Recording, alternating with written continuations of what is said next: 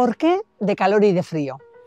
Nosotros utilizamos un material que se llama masa orgánica, como te he contado, y sirve tanto para calentarlos en el microondas y utilizarlos en calentito, como para congelarlos en el congelador.